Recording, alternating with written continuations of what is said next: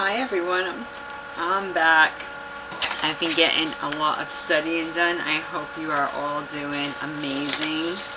And uh, I apologize if you think I'm too hard on my audience sometimes and chastise them, but sometimes I have to. That's what a real friend does. But then I'll come back and bring some gems that I'm learning. I mean, you can't do everything for everybody because we all want to be competent to handle our own commercial affairs.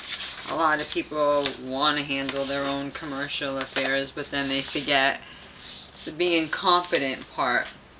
So yeah, we're going to throw the book at some of these people.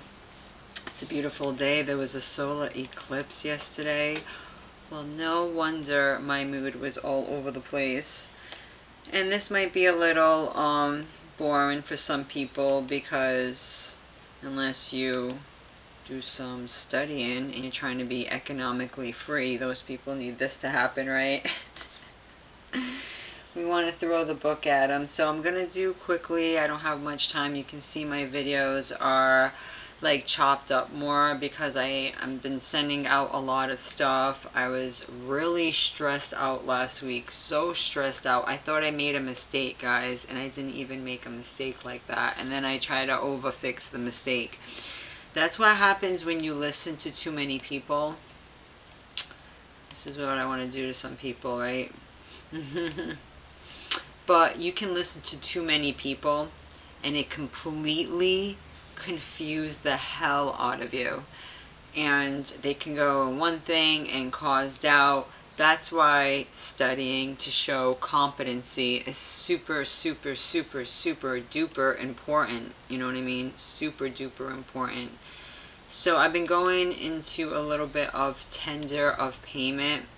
Because you know how a lot of people, they were doing the accepted for value, but it wasn't really landing the way they want. Well, um, upon further study, that could um, maybe not be the method we want to go with per se. Again, I'm not a legal expert, an attorney, nothing like that. Um, just a, uh, I guess an analyst, you can call me. But um, tender of payment, that's what we're really trying to do. So I have a packet going out to one of um, the entities I'm dealing with and I'm gonna draw up a template and it's so easy. You just show your intentions of what capacity you're going in. You put enough law references together. You can put together your own wording. I mean you can and it will help you remember. So I literally printed out you know I'm gonna put a I have to get my file folders from my other pile, but I print them all out. I got three that I'm going to show you, and I, you know, I make a list of all the references that would apply, and that's how you do it. You put it in a folder. If you want to do it with the 1099A, that's great. A lot of people um, that research, and I can see that too because I've been doing this a while, and I um, am in the process of trying to get some of my accounts out of the straw man's name and you want to get it into your trust name or whatever nonprofit that you're dealing with and start using the 1099As as creditors which we already inherently are. But um I guess that's the sin with using a social you know definitely something to think about. But tender of payment I'll read a little bit to you. This is something we would want to do when you do your payment coupon. And let me tell you, if you go on Investopedia, I mean, I've looked up coupon definition over and over again. It's literally a check because the so-called bill itself is a bond. Okay? A bearer bond type of deal. So I'll read a little bit to you, okay? We won't make this too long. I hope you're all having a great day. And just, you know, sometimes, you know, hey, it was the solar, the so-called eclipse because I was all over the place. I was so stressed thinking I did all the stuff wrong and then like the most high showed me so much to like calm me down and then i'm fine and i got even more information and i continue to learn every day but i want to encourage you guys to give you a little bit of help to you know while we're all trying to come up together that's the most important thing so it even tells you what is a coupon because we're trying to tender the payment and we know they redeem it. So you can do it both ways. You can give them both the options and we want to cite laws when they try to attempt to perpetuate fraud and not accept it or act like they don't. So a coupon or coupon payment is the annual interest rate paid on a bond expressed as a percentage of the face valued and paid from issue date unto maturity. Look at that. Coupons are usually referred to in terms of the coupon rate, the sum of coupons paid in a year divided by the face value of the bonds in question. It is also referred to as the coupon rate, coupon percent rate, and nominal year yield. It's important to know this stuff, guys, because, oh, sorry about that. It's important to know this stuff because they try to play word magic with you. I mean, literally, your payment voucher, they, it's just like the earth, you know. You don't feel like you're spinning. You don't feel like you're on a floating ball, but they tell you, oh, yeah, you're floating. Oh, yeah, you're going at a thousand miles an hour. It's like your senses tell you everything else, right? And yet they keep, you know, they play too much, as they say. Right? Don't hate the player, hate the game, as they say. So I'm doing tender of payment. And again, when they're like, oh, what you're doing is a sovereign citizen movement. First of all, we're private citizens with an uppercase C, okay, for creditors, because know who the heck you are, okay? And, you know, we got to cite these references. That's why I need to print them out. And we got to put it in our paperwork. We can all do this, each and every one of us. You don't have to pay.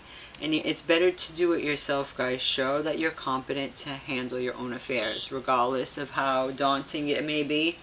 The more we dig into it, it's just going to be, you know, a, walk in the park after a while. So 18 U.S. Code, subsection 914.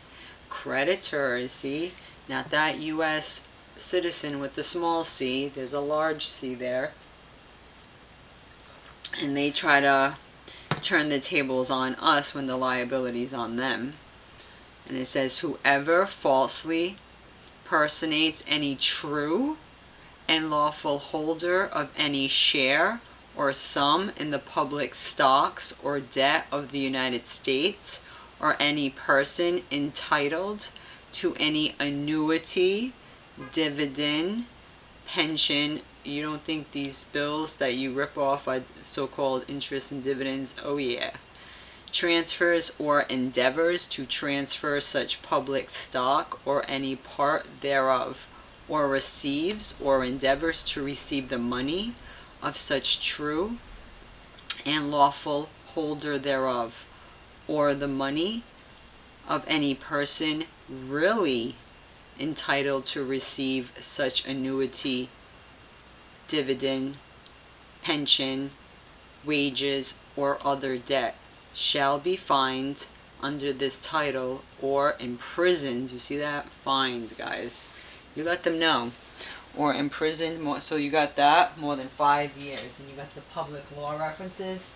Because when they try to talk to you all crazy, first of all, I do not advocate dealing with these creeps through the email. Anything like that, guys. Anything like that, because I tried that. And they play so dumb, and you want to get the CFO. Like, get the CFO doing business as, so you got the you know, the characters to be liable for their misdeeds, but remember some of these references because I gotta do that. I'm putting my stuff together my work week starts on Sunday because you want this stuff ready to go for Monday to mail out. So I don't wait until Monday to get started. I'm already at it. Sunday is definitely when I, you know, I'm not pagan, so I don't need to rest like that on a Sunday. And um, unless it's the biblical Sabbath and it lands on it, right? But I don't find the need to like take it easy on a Sunday. If anything, I'm like, ooh, tomorrow, you know, the post office is open. I need to get my packets together.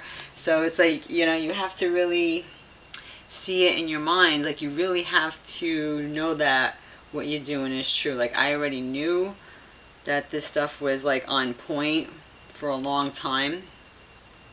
But it took me a while, and it's still taking me a while, but I'm getting more and more every day, guys. And it's I'm really, really grateful. So also 18 USC, 1341, and also 1342. Because they're doing a lot of frauds and swindles, guys. Mm-hmm. Read a little that too. So we have, um, you know, things to reference, like, you know, you can say, you know, I am sending you the enclosed payment um, coupon to tender my payment. And basically, if they don't accept it, right, then you owe them nothing. Because they're trying to refuse your tender, and plus, they don't send it back to you. So that's why make copies, you know.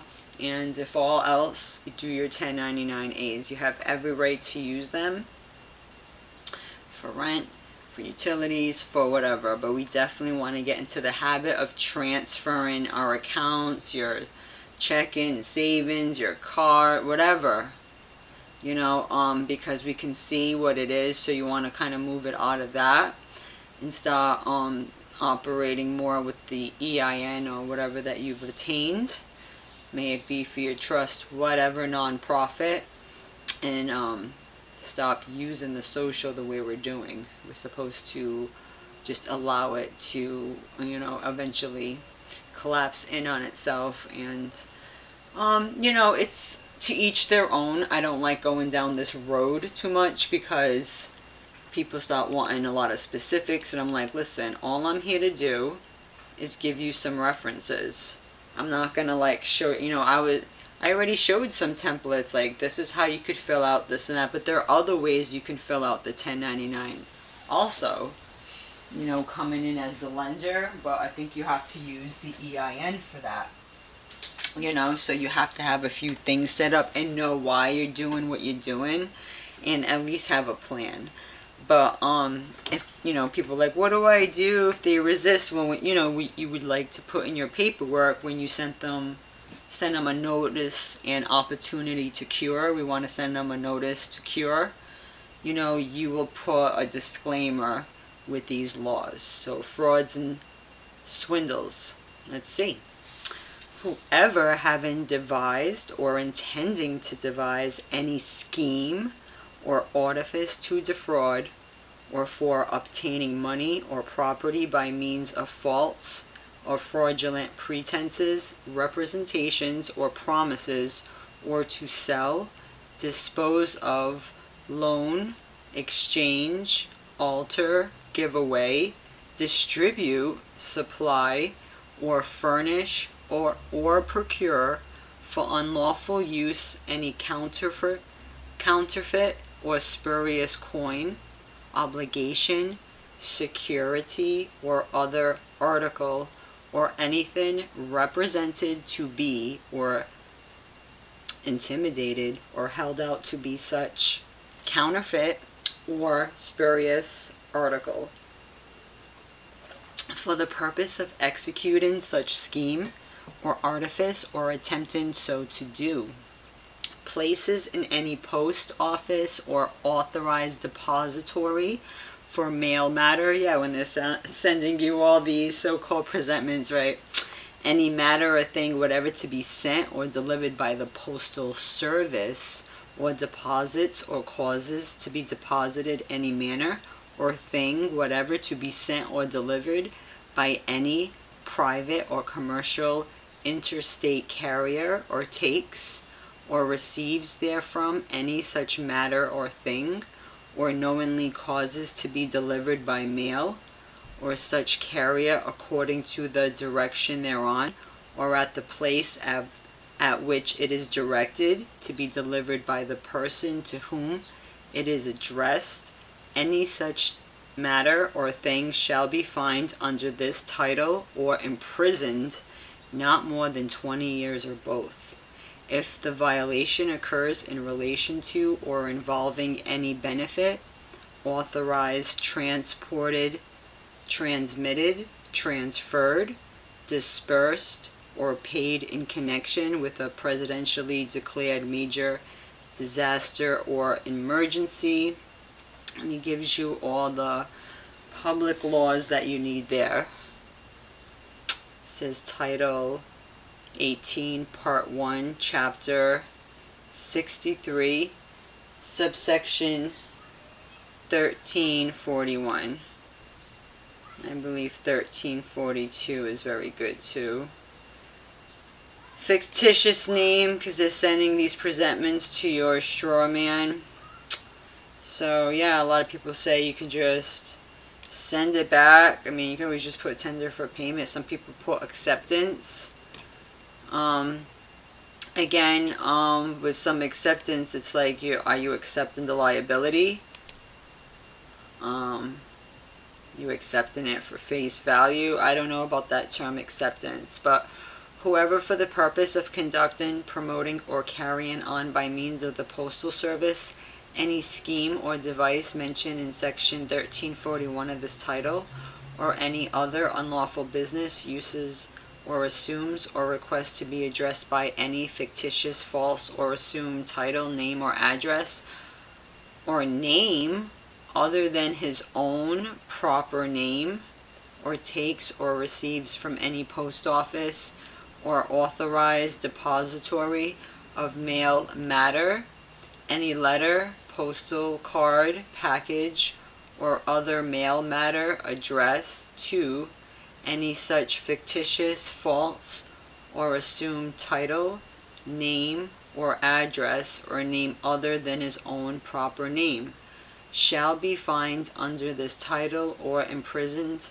not more than five years or both. You got all of these public laws. Here's the one USC obligation. Gonna have to find this law that I was thinking about. I know obligations of the United States. says subsection 8 obligations of the United States. I'd have to look up into it a little bit more. The term obligation or security of the United States includes all bonds. So yeah, if your bills are so-called bearer bonds, you can also write on your envelope. You know, if you send it back, because I know some people like oh, you can return it back to the issuer if they sent it to your fictitious name and you didn't want to accept it, right? Because again, acceptance has like a term that you're accepting the liability, the responsibility. So, I don't know, does that make sense when you write acceptance? Like you're accepting it and then you send it back? It's not something I tried before, but you can always um, do maybe like a return to sender and write that or forward it to the debtor at um you know in DC with you know some of these terms and you can go into it more but I'm just saying let them know like who the debt obligations belong to. You know what I'm trying to say? Just let them know. We're just trying to throw the book at these people because they need it right? Some people need a good uh, book hidden. You know, it's like, here you go, you know, because you definitely have to print some of this stuff out because they try to make you feel like a moron and you know you read it for yourself. You know you've seen the the darn um, definitions yourself. I mean, coupon and Investopedia in all of the dictionaries. And they're like, oh, what you're saying is not legally valid. Sovereign. Who's claiming sovereign uh, citizen? Private citizen is a whole different thing. Them trying to mix you with public and private, don't let them gaslight you and put words in your mouth, you know what I mean? You know, it's like, okay, don't make me, you know, get my big book and, uh, you know, knock you over the head with it, because that's what you're going to get if you don't knock it off, right? So in my paperwork, I'm going to do a document, you know, notice an opportunity to cure, tender for payment. That's how I'm going to word it. I'm going to have the coupon all ready to go with the wording on it, the provision on it.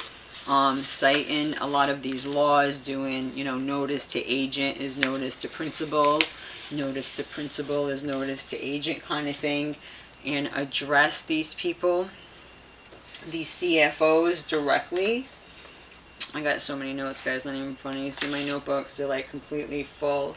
But I transcribe a lot too, and um, with these bills, you know, since they have um, these account numbers and these social numbers and EINs and whatnot, they do become trustees. So you can, you know, let them know as fiduciary, as trustee, you know, you're hereby authorized and or allowed you know, to create some type of um, account to discharge these obligations, opening up and depositing these coupons. I, you know, I guess they can do that. They can open up a discharge account. And that's why it's important to at least, you know, I'm going to give them the option to change from my straw man's name into a trust name or into my um, you know, my other financial vehicle. So I will um, definitely put that in my paperwork and say, you know, you can use these coupons, whatever. You know, I'd like to retitle this. I'm not operating under that name in business anymore. Because trying to get out of that dead person's name is so key. I'm definitely not going to make this a long video like I usually do. I know sometimes it's either really short, really long. It just depends on the time, but this stuff has been keeping me super, super busy.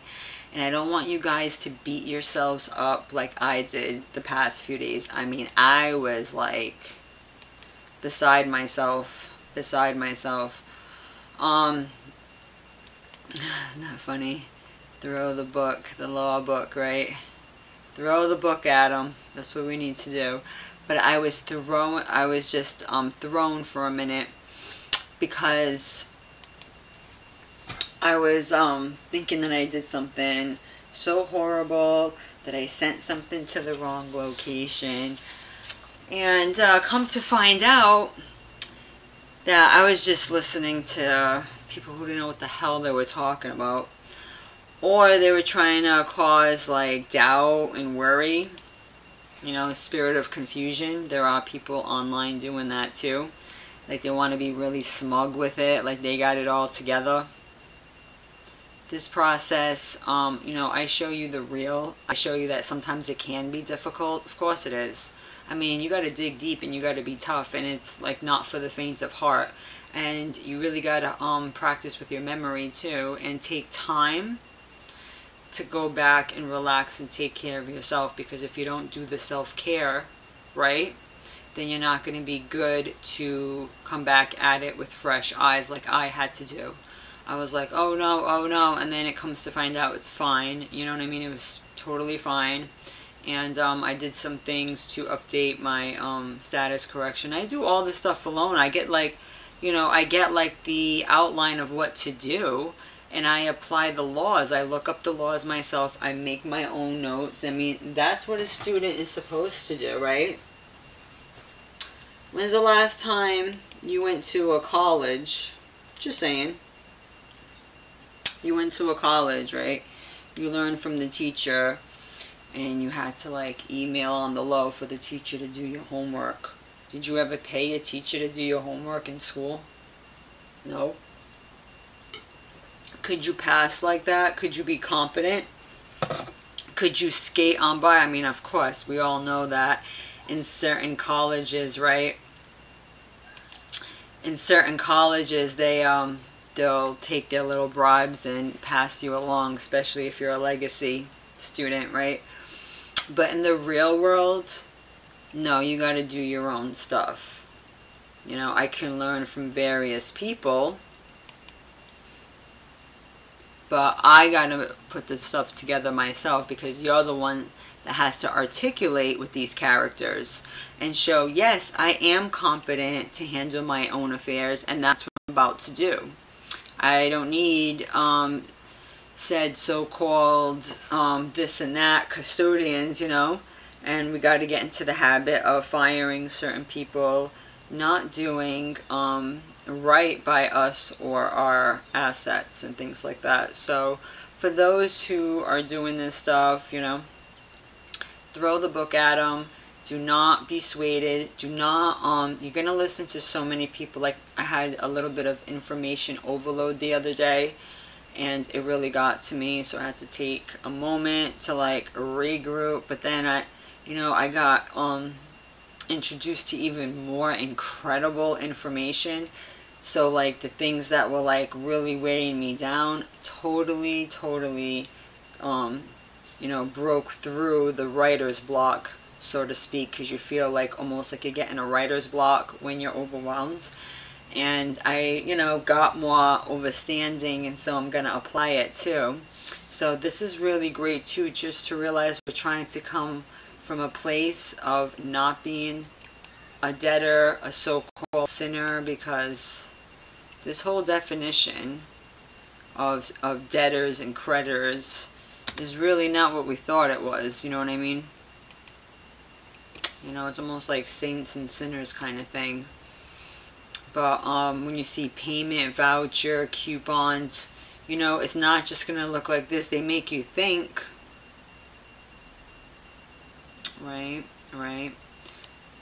This is big. Look at all the terms you want about what a coupon is and and you rip it off the bottom has your name has the company's name and you just got to let them know what to do with the instrument and if they're gonna act foolish and act like oh no that doesn't exist no obviously it does because there's laws that are written about it so don't um, try to act like you're some type of legal expert on the matter or use threats and violence like termination of goods and services like, really, really, you know, such in poor taste how some of these people are. I've noticed that. And so, you know, don't mind me. If you could see, I have like a burn mark. Um, you gotta love it, ladies, right? When you're um, ironing your hair, you'll um, sometimes burn your neck and it'll look like something else. But no, I uh, ironed my hair the other day and I seared my neck. So I've been walking around for a few days and people are probably like, oh, what's she up to? No, I ain't like that. So, um, this is a really great reference, UCC 3-603. We're dealing with um, these instruments and um, don't let them try to tell you, oh, what's up is down and what down is up. And that's what they're doing. They're trying to shift, you know, the liability and we're supposed to be held harmless that's why I heard a lot of that hold harmless agreement talk um, a few years back. And it's just incredible to see that this movement is gaining traction more because a few years back, guys, no way. It wasn't like this evident. So, the Most High, He is working behind the scenes. So I'm just really grateful and I hope that we each get what we're working so hard for and don't let anybody tell you that this is easy and that you're trying to look for a quick fix or something like that. No way. No way. Uh, most people have been deprived too long and they have assets out there and tax credits they couldn't even possibly believe. Right? Just sitting in escrows all over the place. And we just got to come in and, you know, claim our stuff. But the 1099As are shown to be very, very powerful documents. So um, just make sure um, you know you do your study to like know how to um, fill them out right. I don't really go through the ins and outs as I um, progress farther. If people want to do that privately, that's different. But again, I don't want to take on that type of liability right now um, doing any type of processes when I teach people to feed themselves. I don't want to feed people. You know, I may come across a little harsh, you know. You can ask my, my children, they'll say the same thing. like, oh, you're so tough. But obviously, I couldn't have been too bad because they turned out pretty good. So, um, it's because, you know, I want the best for the people around me. And I strive for excellence. I try to be a high value woman. And I try to um, bring the best out of whoever is around me, regardless if they think that they can do it or not. You know, so I do try to increase people's confidence and um, let them know, like, hey, I'm just one one lady out in the you know wilderness and I don't have a whole team. I don't have this flashy channel with all this stuff you know. Not just yet anyway but you know I can bring it though. I can bring the content. I can show that. I can stand on my own and I'm all about self-correction too. And some of us will come on here and be in a mood once in a while but that's to show you we're real we're not gonna sugarcoat every little thing just for thumbs up or views. I don't ask you and say, come on guys, give me a thumbs up, do it, do it, do it, do this, do that. If you want to, you want to, you don't, you don't. I mean, I'm all, I'm all about free will. You know, I'm all about um, doing what you're comfortable doing, right? I don't tell you how to live your life. I don't say, hey, these are the processes I do. This is how I move. You got to move like me right? And then if you hear something different from someone else, you're going to be like, oh, they do it this way, so how you said it wasn't right, even though both ways it could land just fine. You know what I mean? Both ways it could still turn out okay, but I don't want to give people that type of misconception. So I'll just be like, here, these are a few references that I'm using, you know? So I'll go into some of the history stuff in my next, but I've been reading amazing historical references too but I know people are getting back into you know trying to discharge a lot of this stuff. Um, you hear a lot of talk accepted for value that's actually been around for quite a few years. Um, I don't know about the terminology um, because I've used it for a few years and it wasn't successful for me in that respect but I think if we use the law as tender for payment or tender of payment that will be more clear and there's more laws to support that because that's actually in the laws. You don't see a law for accept for value like that unless I'm mistaken. You know, um, that's what I'm talking about. And that the laws that you can put with it also that if they do not, um, I don't have that written down with me, but the one that if they don't accept it, that it's considered um, discharged and the one for accord and satisfaction. I don't have that one up. But accord and satisfaction, UCC 3-311. Payment UCC 3-602. So UCC 3, you know, just try to remember that. That's going to help you with the payment coupons. That's going to help you with your discharge. And yes, definitely use the 1099As if all else fails. Okay, um, because that's what I'm going to do. I have the CFO's name, got all of it. I got her by the, you know what. So if anything, you know, that's what we're doing. We're throwing the book at these people. But thank you so much. Um, I know this is wasn't very exciting. It was more like boom, boom, boom, get to the point. But some people just like it like that. You know what I mean? I don't want to keep you on here too long. And um, drag it out more than I have to. I've been kind of like laying low because um, I've been getting so much done. I mean, even when I did a video yesterday, I was interrupted by the doorbell, which I'm glad I went to the doorbell because um, it was the postman. I had certified mail. I got my documents back from Social Security because I updated my status. I sent my uh, um, affidavit of status and things like that. So I made sure I let them know who I was and, you know, I put my proper credentials.